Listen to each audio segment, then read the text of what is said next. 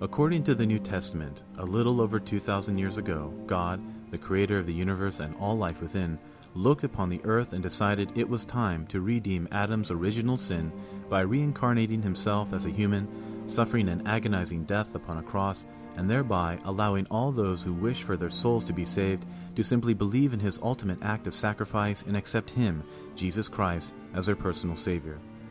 Creationists put forth the claim in order for the purpose of Christ to be valid, the story of Adam and Eve and the original sin must be accepted as a literal truth. However, creationists have painted themselves into a corner with these beliefs, as they are forcibly compelled to reject any and all modern scientific discoveries that support the theory of evolution, no matter how credible the source or authentic the evidence, solely on the grounds that it contradicts a story found on ancient scrolls belonging to an early tribe of Jewish nomads.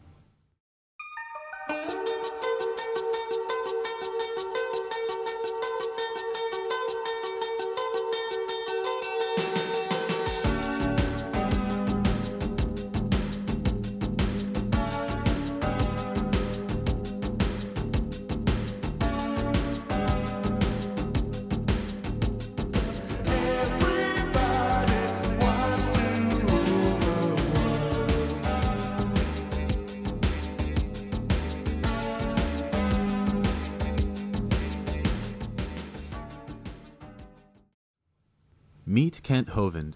Before he was convicted in 2006 of 58 counts relating to tax evasion and lying to the government that resulted in a 10 year sentence to federal prison, he was one of the most outspoken evangelical creationists in opposition to evolution. Listen to Hovind as he sums up his views on evolution and the purpose of Christ. My Bible says God's work is perfect. He made it right first time. The God that would use evolution is deceitful. It's not the God of the Bible. There's no evidence for evolution anyway. Bible says God formed the world by His Word. He spoke it into existence. He did it in six days. He told us clearly how He did it. He didn't use millions of years to get here. I think it'd be a retarded God can't make it right first time. I wouldn't worship a God like that. Okay? It nullifies the need for the death of Christ by having God use this evolutionary process, and there is no evidence for evolution. So why would we compromise a perfectly good Bible, which has never been proven wrong, with a dumb theory that has never been proven right? Let's examine the scriptures to see how creationists like Hovind acquire such polarizing extremist views. Genesis chapter 1 verse 31 states, God's creation was very good, which implies that at the beginning of time, every work of creation retained the same divine, sinless qualities that would meet the satisfactory standards of a pure and sinless creator. The Bible describes life within Eden as a paradise beyond imagination. Adam and Eve lived without clothes and were unashamed of their appearance. Food was free for the taking from any plant within the garden, with the exception of the forbidden fruit, and humans lived in harmony with nature and were free to move among all the animals and give them names. In addition, Genesis chapter 1 verse 29 states that at the beginning of creation neither humans nor animals ate meat, consuming only plants for food. God did not allow meat eating because life in Eden was not designed to experience fear from the act of predation or death resulting in the taking of life for food. The Bible provides evidence that all animals were vegetarians when God gives his instruction in Genesis chapter 1 verse 30. But for all the wild animals and for all the birds I have provided grass and leafy plants for food. In Genesis chapter 3, Adam and Eve sin against God by eating the fruit of knowledge of good and evil. Once they break God's command, the world begins to change. Adam and Eve become conscious of their nakedness and experience fear for the first time. When God discovers their sin, he curses them by corrupting the world and creating hardships that did not previously exist. In Genesis chapter 3 verse 16, God punishes Eve. I will greatly increase your pains of childbearing. With pain you will give birth to children. God also changes the natural world to cause humans additional struggle and difficulty with obtaining food. It will produce thorns and thistles for you, and you will eat the plants of the field. God disrupts the once harmonious earth by creating fear and apprehension between all species of life. Only after the actions of Adam does God allow humans and animals to finally eat meat. Everything that lives and moves will be food for you. Just as I gave you the green plants, now I give you everything. Therefore, no life within the animal kingdom could have been taken for consumption prior to the fall. God reveals that by breaking his command, the man has now become like one of us, knowing good and evil. He must not be allowed to reach out his hand and take also from the tree of life and eat and live forever. A curse of death is placed on Adam and Eve as they are cast from Eden to toil for their food and to eventually die. By the sweat of your brow you will eat the food until you return to the ground, since from it you were taken, for dust you are, and to dust you will return. With sin, death becomes a part of life, through which the anger of God may be appeased in the practice of sacrifice. Although the first sacrificial offerings appear in Genesis chapter 4 with the story of Cain and Abel, throughout the Bible there exists a cyclical relationship between man and God's use of sacrifice. In the Old Testament, humans show devotion to God by slaughtering animals upon an altar. In the New Testament, God shows his devotion to humankind by making a sacrifice of his Son, Jesus Christ, upon a cross. Adam, the first man, was the head of humankind when he fell. Consequently, his descendants have also fallen, and from the very moment we are born, we are cursed with the original sin.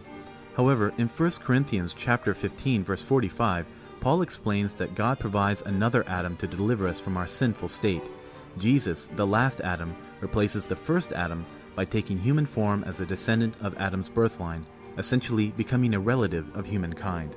As the new head of humanity, Jesus became a divine and sinless Savior, responsible for paying the ultimate penalty for sin by shedding his blood and suffering death upon a cross. Hebrews chapter 9, which discusses the blood of Christ, claims such a violent death is necessary because God's law requires nearly everything be cleansed with blood, and without the shedding of blood there is no forgiveness. Through belief in Christ, humanity may repent the sin of rebellion and once again be reconciled. For this reason, Christ is the mediator of a new covenant, that those who are called may receive the promised eternal inheritance now that he has died as a ransom to set them free from the sins committed under the first covenant. The Bible continuously emphasizes the fact that the essential purpose of Christ's sacrifice is a direct correlation of Adam's sin. For as in Adam all die, so also in Christ shall all be made alive. Another connection between Adam and Jesus is made in 1 Corinthians chapter 15 verse 45. Thus it is written, the first man Adam became a living being, the last Adam became a life-giving spirit. The Bible draws strong parallels between sin, death, and the reconciliation of Adam's curse through Christ. Therefore, just as sin entered the world through one man, and death through sin, and in this way death came to all men, because all sinned, nevertheless death reigned from the time of Adam to the time of Moses, even over those who did not sin by breaking a command, as did Adam, who was a pattern for the one to come.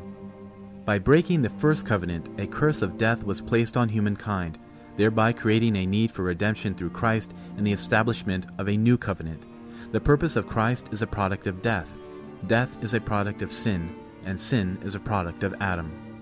However, there is a major conflict between the relationships of Christ, sin, death, and Adam.